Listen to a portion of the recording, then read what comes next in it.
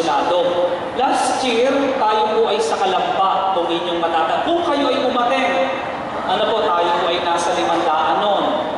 Ngayon po ay 806 kanina, ay may mga dumating pa. So 900 tayo ngayon. Ganun po kadami. Yung tinapay natin, dalawang libo. Kulang pa. Akala ko ba naman may pag naedad na yung natipid ng kumain. Ay pala'y nalakas pa, lalo na ang taga-mahayhay.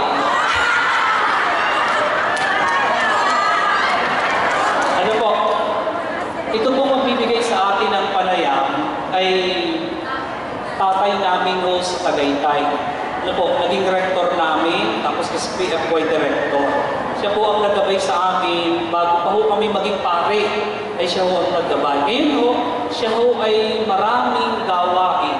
Wala ng parokya, pero mas maraming gawain na bilang direktor ng pastoral. Ano po? Kaya hindi ko na po pahahabain sapagkat kanina pa natin iniintay. Nakapagmerienda ng lahat kayo, kami hindi pa. Ano po? Nais ko lang pong ipakilala si Father Ray Paya. Palakpakan naman po na. Salamat po, Father. Tayo po ay tatahimik na. Kasi kayo ay kasapi ng apostolado ng panalangin. Palaging kung gagamitin natin yung mga salita ngayon ng mga kabataan, palagi sa prayer mode. Nasa prayer mode. Switch nyo na lang sa prayer mode ang inyong puso, ang inyong isip. Yan.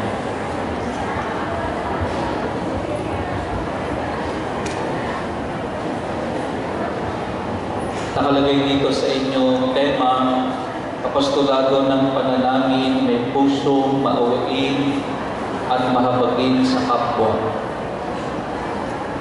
Gusto kong balkan ang dahilan kung bakit may apostolado ng panalangin. Ano ang apostolado ng panalangin sa mata ng simbahan?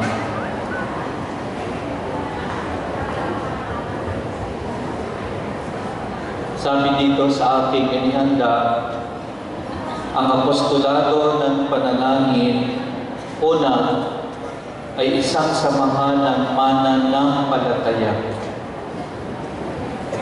So, pinipresuppose ko na kayo ay puno ng pananampalataya, na kayo'y nananampalataya.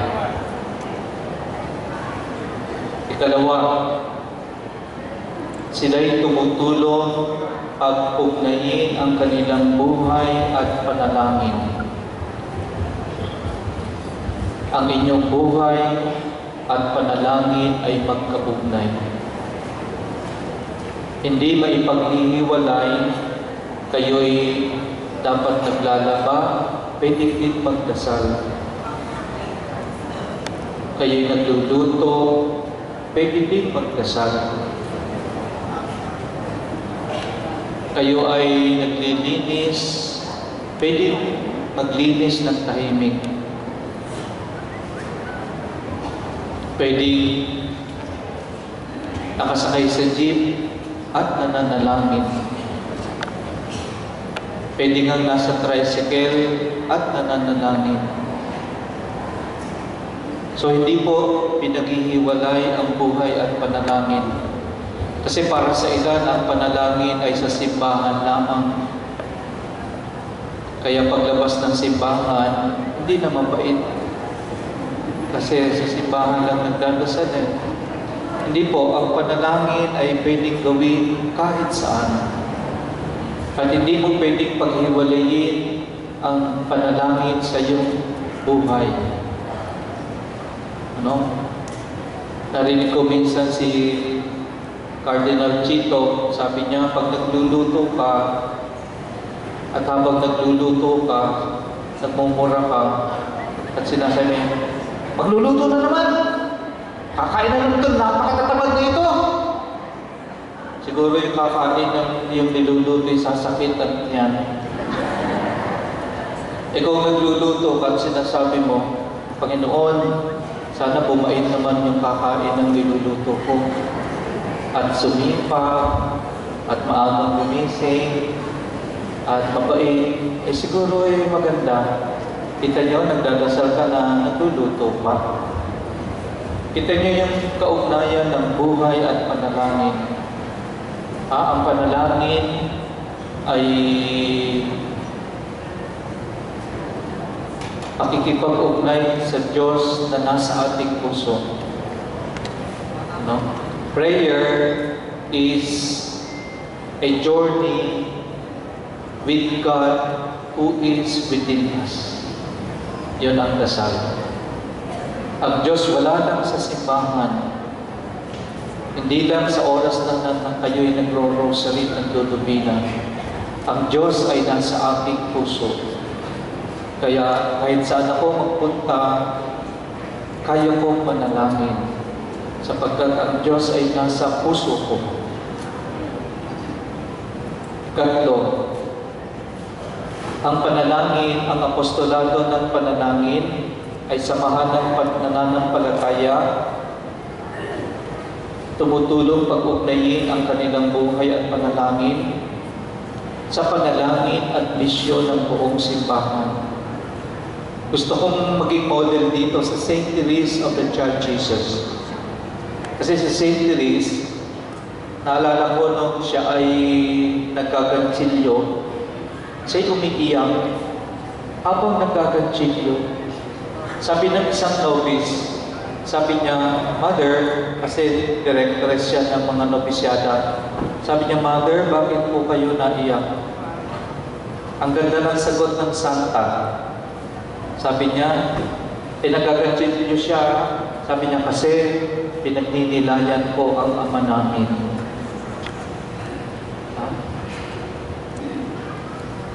Nagagantsilyo, nagninilay sa ama namin. At napapaiyak siya, dama niya yung pag-ibig ng ama sa kanya habang nagagantsilyo. Yung ating panalangin, inuugnay natin sa simbahan. Kaya yung mga apostolado ng panalangin, meron ako narinig na isang kubispo. Sabi niya, kayo ang kaluluwa ng simbahan. The soul of the church. Because you are the members of the body of Christ who pray. So ngayon, makikita nyo ang napakagandang papel na ginagampanan ninyo sa ating simbahan.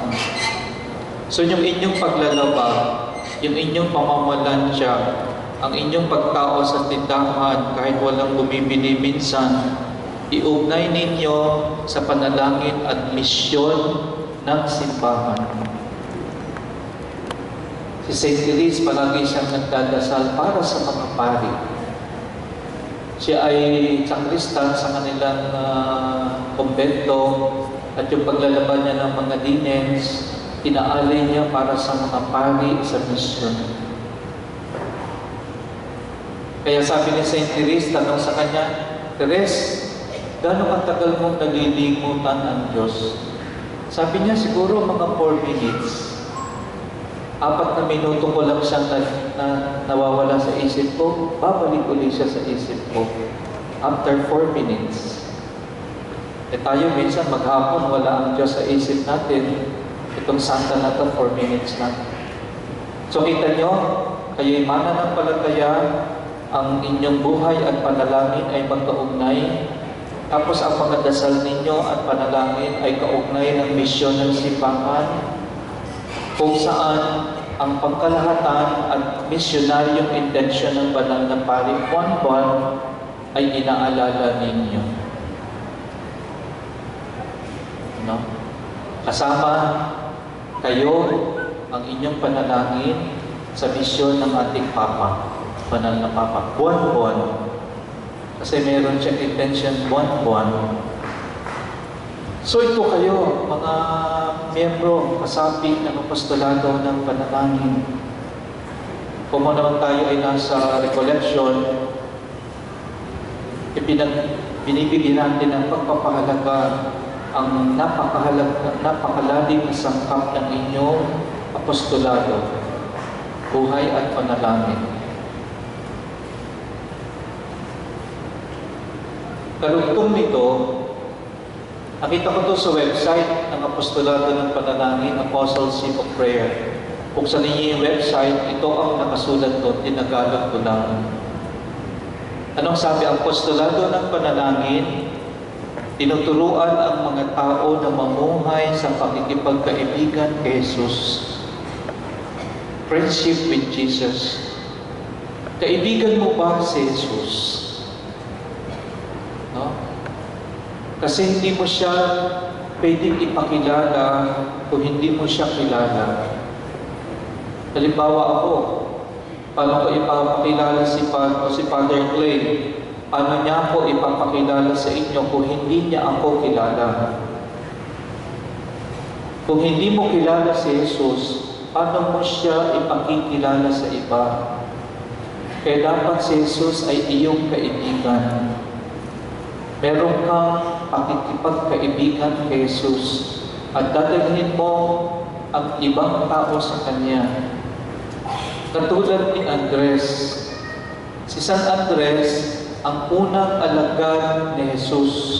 Hindi si San Pedro, pagamat sila'y magkapatid. Si Andres ang nagpakilala kay Pedro, kay Jesus, na kanyang kapatid. Ha? Tayo din, hindi niyo maipakikilala si Jesus sa inyong apo, anak, kapitbahay, kung hindi mo siya kilala at hindi mo siya kaibigan.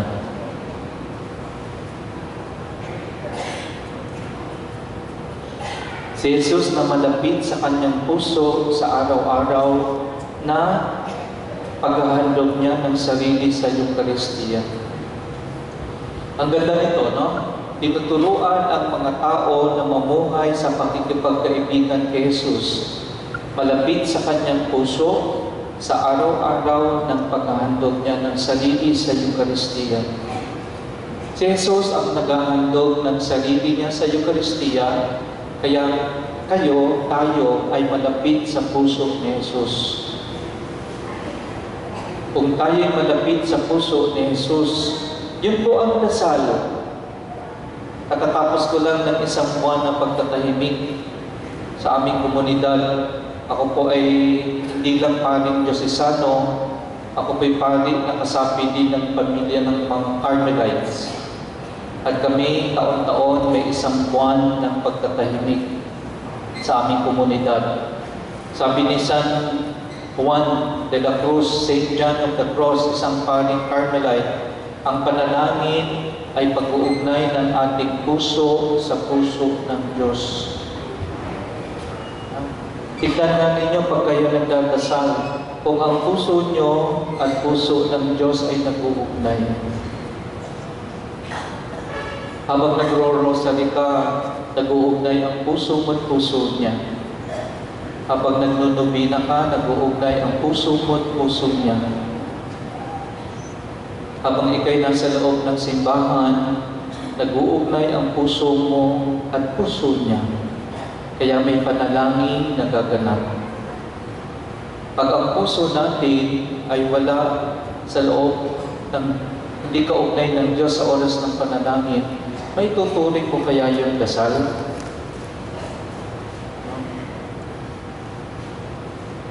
Sabi ni Bishop, kagabi sa akin, uh, kahapon, mga hapon pala, mga alas dos, sabi niya, pwede bang gawin mo isa sa program? Kasi po ako po'y nasa pastoral planning office ng ating diocese. Sabi niya, pwede bang alsinan natin yung mga Latin na panalangin tulad ng tatlong ergo, Sacre Regina, at Tagalogin natin para maunawaan ng mga tao. Para maintindihan nila na ang dasal ay makipag-ugnay sa Diyos. Kaya tingnan niyo yung dasal niya ha, kung kayo ay habang nagdadasal, kaugnay ng Diyos. Pag magagalit yung ibang nagdadasal ng mabibilis, kasi meron mga mabibilis magdasal. Pag nakarinig kayo niyan sa microphone, sa labas, minsan naririnig ka sa labas ng simbahan na mabibilis magdasal. Hindi ko alam kung yung puso niya at yung puso ng Diyos ay mabilis din ang tibok. Kaya mabilis ang dasal. Apa ginawa niya pag Hindi ko alam kung yung tibok ng puso niya ay tibok ng puso ng Diyos kaya napapabilis. Pero sana dahan-dahanin, no?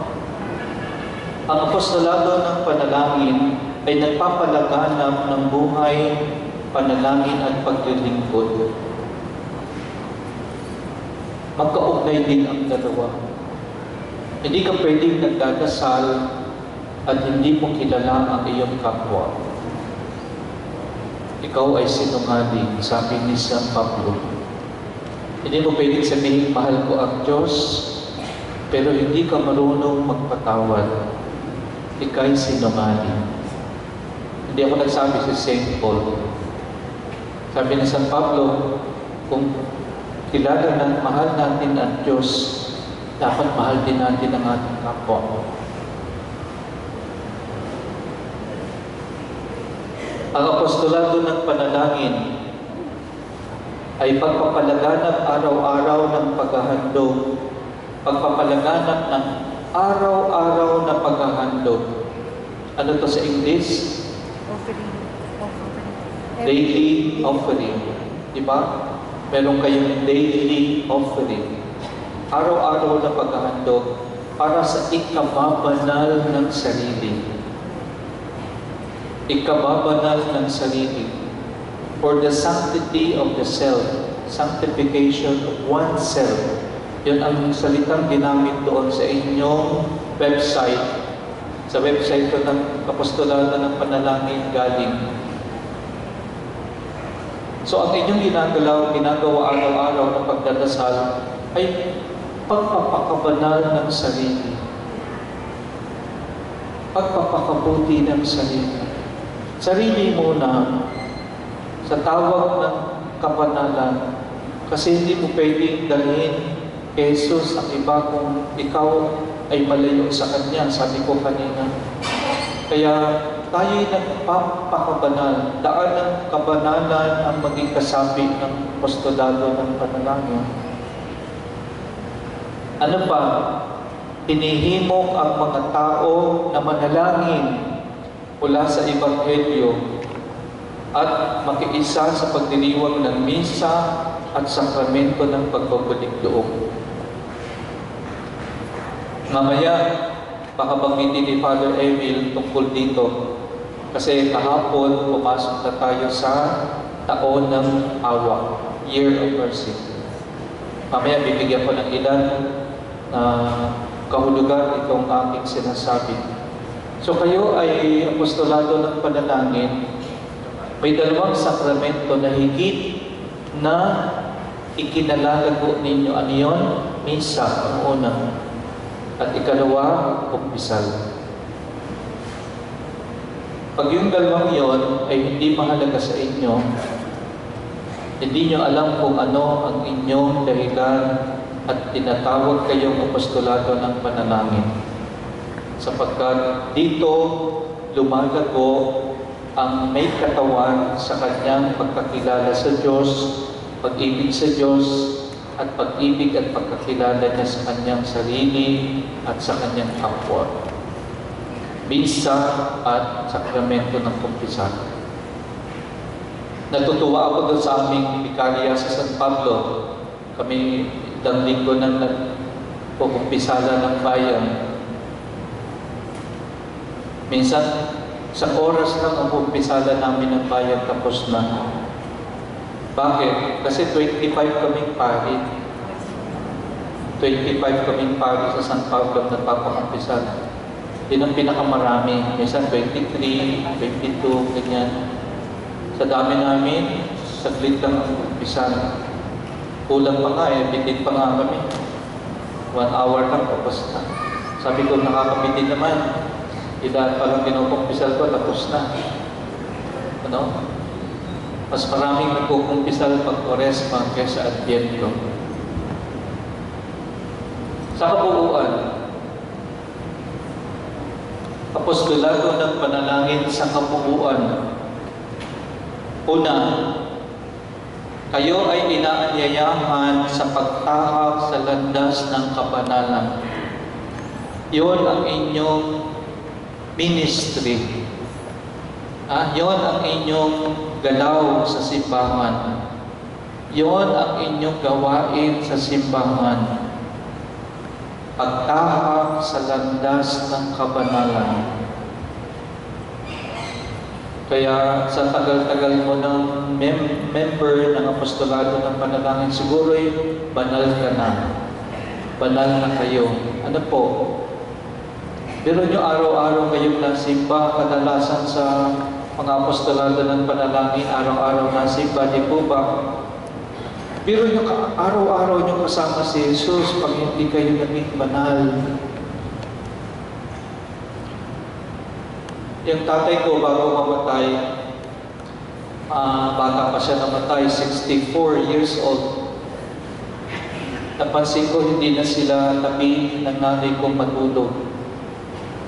Magkahiwalay na sila ng kama, pero magkatabi din naman yung kalapit din ng kama, pero magkahiwalay. Sabi ko, Nay, ano napapansin ko hindi na kayo tabi ni tatay matulog? Sabi niya ng tatay ko, kasi parang naroon kaming magkapatid. Sa tagal ng pagsasama nila. No? Para na silang magkapatid. Na, parang ang lalim, sumobra yung uri ng pag-ibig meron sila sa isa't isa. Kaya kayo, ganun din. Araw-araw pagkasama mo si Jesus, bakit hindi ka matutulad sa Kanya? Sabi ng aming founder ng Notre Dame Vie, yun ang samahang pinabibilangan ko. Ibig sabihin sa English, sa Tagalog ay Ina ng Awa, Notre Dame de Vie. Sa French, Ina ng Awa. Sabi ng aming founder, si Father Marie Eugene of the Child Jesus Carmelite, sa panahon ng winter, wala sa ating winter. Sa ibang bansa, meron sa France. Meron silang tinatawag na chimney saka fireplace, di ba? Pag tag-yelo, meron tong fireplace at sinisindihan yung mga kahoy doon para uminit sa loob ng bahay. Wala pa nun masyadong mga sistema ng heating system sa loob ng bahay. Kaya ginagawa nilang pampainit ay kahoy doon sa fireplace. Sabi niya, kumuha ka ng kahoy sa labas ng bahay kahit ang kahoy ay nagyayelo, itabi mo sa nagsisigang apoy at maya-maya iinit din siya.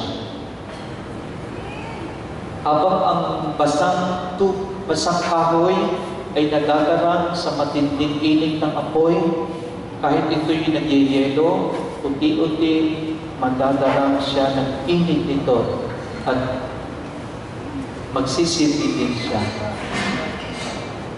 Ganon ang dasal para kay Father Maria Eugene. Ah, kung tayo nagdadasal araw-araw, kasama natin si Jesus isang oras o hindi lang dalawang oras, bakit hindi tayo iinit sa pag-ibig katulad ng pag-ibig niya? Kung hindi yun nangyayari, ibig sabihin, kahit ako pala'y nagsisimba at nagdadasal, wala akong personal na kaugnayan sa Diyos. Kaya hindi niya ako kayang baguhin. Baka ang aking pagdadasal ay pang paibabaw lamang at hindi totoo o hindi malalim o kaya'y mali. Kasi may dasal na mali. May dasal na tama. Okay? So, pagtahak sa landas ng kabanalan sa pamamagitan ng araw-araw na paghahandog daily offering no? Na nagbabago ng buhay So yung araw-araw mong paghahandog, dinadala ka sa pagbabago ng buhay na nag-uugnay ng sarili sa pandaigdigang kaisahan ng panalangin. So pag ikaw ay nagdadasal sa iyong parokya, kasama ka ng mga apostolado ng panalangin doon sa Germany na nagdadasal din sa kanilang simbahan. Kaya yung dasal mo ay kaugnay ng panalangin ng lahat ng kasapi ng apostolado ng panalangin sa buong mundo. Okay? Huwag niyong isipin na ang dasal niya ay inyo lamang. Ang dasal mo ay kaugnay ng dasal ng marami pang kasapi ng samahan na ito sa buong mundo. Nag-uugnay ng sarili sa pangdaigdigang kaisahan ng panalangin. Paano inuugnay ng aking dasal ang dasal ng ibang kasapi nito? Sinong nag-uugnay nun ng mga dasal? Ang Espiritu Santo. Kaisa ng Espiritu Santo na nananahan sa atin. Okay? Siguro palalimin natin to ng konti. Bakit? Sabi ko kanina, ang dasal ay madiscovery ang Diyos na nasa puso ko. Anong kaugnayan ng dasal ko at dasal, anong kaugnayan ng dasal ng tagapasita at dasal ng mga taga siniloan? Yung dasal ng mga tagapasita at dasal ng mga taga siniloan sa araw ng biyernes ng umaga ay pinag-iisa ng Espiritu Santo para maging panalangin ito ng simbahan. Kita ninyo? So hindi nasasayang ang iyong dasal kahit nasan ka. Kasi ang dasal mo ay kaugnay ng dasal ng marami niyo pang kasapi sa pamamagitan ng Espiritu Santo. Ito hindi alam ng marami. Yung mga pari, pag sinabi ni Father, manalangin tayo. Nakalagay doon sa ritual, tumahimik sandali. Yung ibang pari hindi natahimik. Pero nakay, nakasulat doon, manalangin tayo, tas parenthesis, tumahimik sandali. Sa Latin, ang tawag doon, kolekta. Hindi yung pagtulog kayo ng barya. Ang kolekta sa Latin, nakalagay doon, iniipon ng pari ang panalangin ng lahat ng sumisimba at inaalay niya to sa Diyos. Kaya tumatahimik siya ng sandali. The priest collects the intentions and prayers of the faithful present during the celebration of the Mass and he offer it to God together with the people. Yun ang Espiritu, yung dasal mo at dasal niya ay pinagbuugnay ng Diyos para maging panalangin to ng simbahan at maging kalugod-lugod sa Ama. Okay? So may kabuluhan at iyong dasal ang bawat kung may 900 na members ng apostolado ng panalangin dito ngayon, ang ating panalangin ay napakamakahulugan. Kasi ang dasal ng bawat isa ay kaugnay ng dasal ng bawat isa.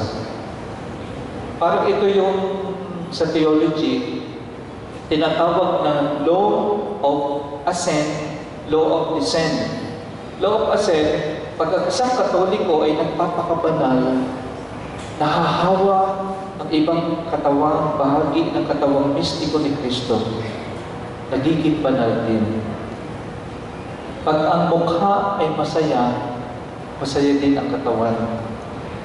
Yan ang law of ascent. Yung law of descent, pag ang isang kasapi ay nagkakasala, namumuhay sa kasalanan, naapektuhan niya yung ibang kasapi nito.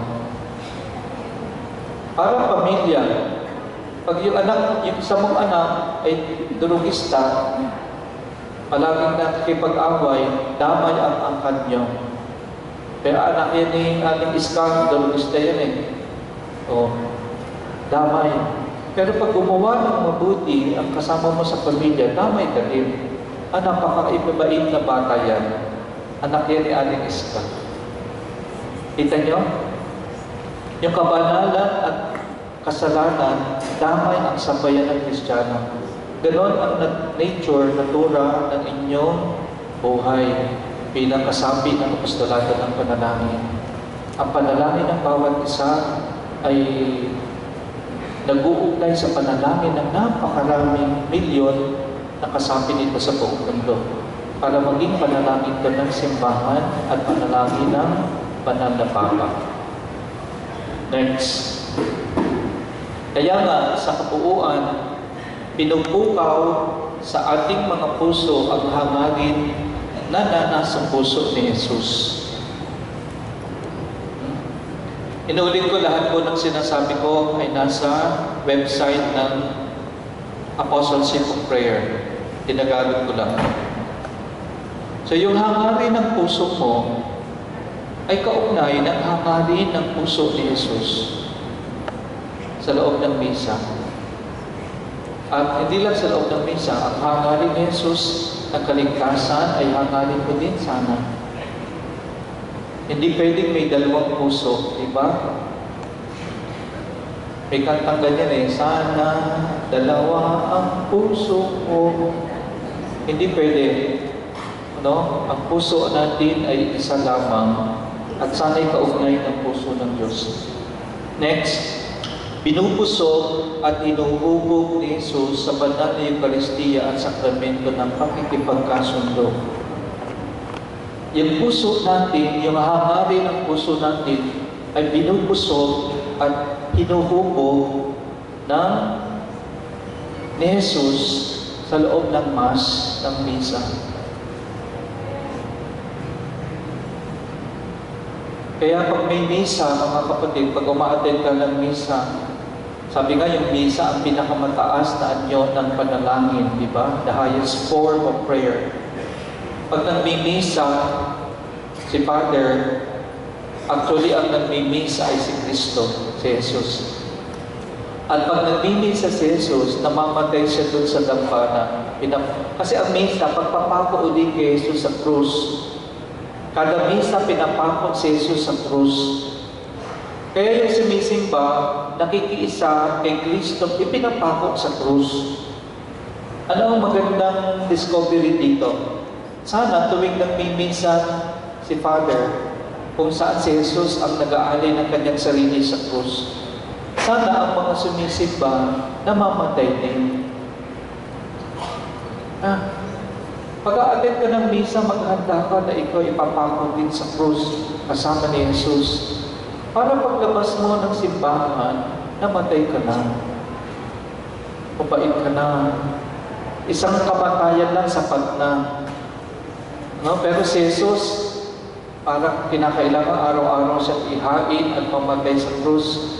Kasi araw-araw din tayo nagkakasala para mapagbayaran ang araw-araw na kasalanan ng tao. Kinakailangan si Jesus ay mamatay ng mamatay sa loob ng misa. Pero kung tayo ay namamatay kasama ni Jesus sa misa, siguro ay napakabanal na natin. Napakabait na natin. No? At ang puso ko ay puso ay magkaugnay na. No? Namatay ka na ba habang ikay umaattend ng misa? Ibig sabihin, namatay ka na ba sa iyong sarili? Namatay ka na ba sa iyong pagka mainindi ng ulo? Pagka kuripot?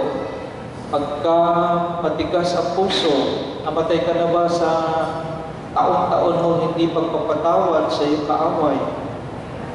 Pag hindi tayo namamatay sa loob ng misa, habang namamatay ang Diyos doon, pag umimo ng bahay, walang epekto ito sa iyo. Salbahe ka pa rin, kismosa ka pa rin, at matakaw ka pa rin, at maramot ka pa rin. Wala nang magkakaiba. Kita ninyo? Ang kaseryosohan ng nagaganap sa loob ng misa pagkasama natin si Jesus na iniaalay doon at namamatay kasama niya. Otherwise, wala po itong epekto sa atin. Paglabas ng misa, wala lang. Na para lang akong kumain ng skyflakes. At walang binago sa akin ang katawan at dugo ni Kristo. Isinusuko ng apostolado ng panalangin ang sarili niya at buong puso sa kalooban ng Diyos at ng simbahan sa tulong ng panalangin ng mahal na ina ng Diyos. Ito yung huling nakalagay ko sa inyong website. Ano? Yung mga kasapit ng apostolado ng panalangin, sinusuko niya yung sarili niya habang nagmimisa sa kalooban ng Diyos. Parang sinabi ng mahal na Birhen kahapon, kapistahan ng Immaculada Concepcion, I am the handmaid of the Lord. Ako ang alipin ng Panginoon. Maganap nawa sa akin ang iyong sinabi. Okay? Sana po pag nagmimisa, isa sa mga ima images na pwede nating ah, gamitin ay ang mahal na Birhen na siya naging pinakamasunuring alagad ng Ama. Sinuko niya lahat. Sinuko niya lahat para sumunod lang sa kalooban ng Ama. Okay, ito ang kabuuan ng inyong buhay bilang mga apostolado ng panalangin na gusto kong i-remind sa inyo ngayong umaga. No? Sana yung ilang mga pinagnilaya natin ay nagpanibago sa iyo sa iyong pagkakilala at pakikisangkot sa gawain ng apostolado ng panalangin. Amen po? Okay, next part ng ating pinagninilayan. Kasi ito ang ibinigay ng paksa sa akin. Ngayon ay halos matatapos na ang taon ng mga dukha. Year of the Poor. Matatapos na ngayon. Ha? At paano natin ito pinagdiwang?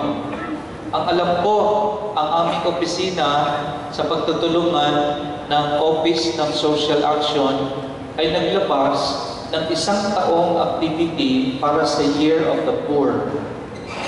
At ito ay nasa inyong parish priest. Ang inyong parish priest ay may kopya ng activities for the Year of the Poor mula January to November. Hindi ko alam kung ginagawa ninyo sa inyong parish. Ito'y nakasulat na ipapatupad na lang ng parish priest nyo, hindi na sila mag-iisip. At ito'y nasa pamphlet na inilabas ng aming office sa pagtutulungan ng opisina ng social action ni Father Rene Eriga. Okay? So ngayon, paghahanda ito sa pagbubukas lamang ng taon ng awa, taon ng mga dukha. Tignan natin ang kaisipan ng mga obispo ng Pilipinas para tawagin itong taon ng mga dukha. Matatapos na. Oo, matatapos pa lang. Para sa kaisipan ng mga obispo, si Jesus ang ugat ng ating pagmamahal sa mga dukha. Wala nang iba pa. Ha? Jesus is the source of our love for the poor. Jesus is the root of our love for the poor. Siya ang dahilan ng inspirasyon kung bakit tayo nagmamahal sa mga dukha. Binanggit ko dito, our encounter with Jesus is the foundation of our love for the poor. Ang aking pakikipagtagpo kay Jesus, ang siyang pundasyon ng aking pag-ibig sa mga dukha. Kung hindi ko nakakatagpo si Jesus, hindi ko alam kung paano ko mamahalin ang mga dukha. Kung wala akong karanasan ng pag-ibig ni Jesus, hindi ko kayang mahalin ang mga dukha. Bumalik tayo dun sa aking karanasan o ang aking sinasabi kanina. Ang panalangin ay pakikipagtagpo kay Jesus na nananahan sa ating mga puso. Prayer is an encounter with Jesus who is hidden in our hearts. Pag si Jesus matagpuan na natin araw-araw ng aking pagdadasal sa aking mga puso at nadiskubre ko siya sa aking puso, padidiskubre ko din ang Diyos sa puso ng iba. Because the God who is in my heart is the same God who is in your heart. Hindi naman to dalawang Diyos. Okay? So, kung ang Diyos ay nananahan sa ating puso, at Diyos din ang parehong nananahan sa puso nating lahat, bakit hindi kita kayang patawarin? Samantala ang Diyos na nasa akin, ay siya din Diyos na nasa iyo. Bakit hindi kita kayang tulungan? Samantala ang Diyos na nasa akin, ay Diyos din nasa iyo. Anong problema? Siguro, hindi niya tunay na nararanasan ang Diyos na nasa Kanya. Kaya hindi niya nararanasan ang Diyos na nasa Kanyang kapwa. Logic, basic, very practical logic. Ano? So, ganun din. Ang pag-ibig ni Jesus sa mga dukha, ang siyang inspirasyon natin. Kaya nagmamahal din tayo sa mga dukha.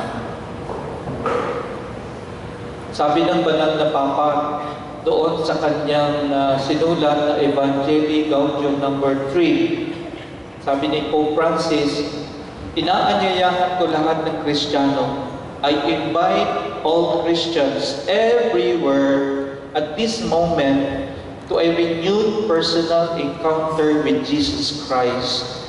I ask all of you to do this unfailingly each day. Ano ang hamon niya? Renewed personal encounter with Jesus Christ. Na siya'y makatagpo ko araw-araw. Nakakatagpo mo ba si Kristo araw-araw? Nararamdaman mo ba siya araw-araw? Saan po mo, saan natatapos ang pagsaksi mo sa presensya ng Diyos araw-araw? Baka wala itong bunga. Pag halimbawa, sumimba ka ngayong maga, o sumimba ka kaninang maga, alas sa isa inyong parokya, at pauwi ka na hanggang sa gabi, hanapan mo nga ito ng bunga. Siguro magandang assignment yun ninyo, mga apostolado ng panalangin. Sa gabi, sulat mo ang naging bunga ng pakikipag-tagpo mo kay Jesus. Nakatagpo ko ko si Jesus kanina sa misa, kaya nung pag-uwi ko ng simbahan, may nakita ko doon batang umiiyak at nawala ng pera, wala hindi siya makapasok sa school at walang pamasahe. Binigyan ko siya ng pamasahe. Napaka-konkretong bunga ng aking pagsimba. Uy, Otoy, bakit ka naiyak? Hinuhulog ko yung pera ko, isasakay na po ako sa tricycle. Iuwi na lang po ako. Kasi hindi po ako makakapasok, kalayo po ng school namin. O sige, Otoy, huwag ka na umiyak. Magkano ang pamasahe papunta sa school nyo? Otso po. O, Ito ng otso. Sige na. Konkreto na namunga ang iyong pakikipag-unay kay Jesus sa misa. Ano? O halimbawa, katatapos pa lang ng misa, nakasalubong mi si Chik Chik Chikakera. Say, Mare, halika. Ano mo ba yung si Aling na nakita namin kagabi? No? At kasama yung asawa ni Aling ni Ma'am uh, ganyan. Eh, katatapos mo lang ng misa. Ano kaya gagawin mo? Para yung bunga ng misa ay maging makahulugan sa iyo. Si Mare, saglit ha, kami nagmamadali. Saka mo nalagay ko sangka. Uy, hindi mo na lang pansinin. Hindi kismis lang ka pa. Kung ikaw'y nakipag-kismis, eh hindi dalawa na kayong kismosa. Pagkatapos ng misa niya. Hanapan niyo ng bunga ang inyong pagsimba, mga kapatid. Pwede ba kilista mo sa gabi kung ano yung mabubuti mong ginawa sa araw na yon? Paramihan tayo, ha? Nang nagawang mabuti sa araw na yon. Ilista niyo para konkreto niyong nararanasan kung kayo namumunga o hindi. Anong nagawa kong mabuti sa araw na ito? Pag magagabi na. Sabi ko, ah, nagbigay ako ng 8 pesos doon sa batang walang pamasahe. Anong kasunod? Ah, parang wala nang kasunod ah. Nagluto ako at nagluto akong masaya. Naglaba ako at habang ako'y naglalaba, inaalay ko yung aking paglalaba kay Father namin sa aming parish priest na siya'y bumait na sana. Ayan. Ako'y naglinis ng bahay at inaalay ko ang paglilinis ng bahay sa aking kasamang apostolado ng panalangin na meron kaming samaan ng loob. Sana magkapatawaran na kami. Pero yun, kung makapaglinis na ka ng mabuti mong nagawa sa maghapon sa gabi bago ka matulog, may bunga ang iyong karanasan kay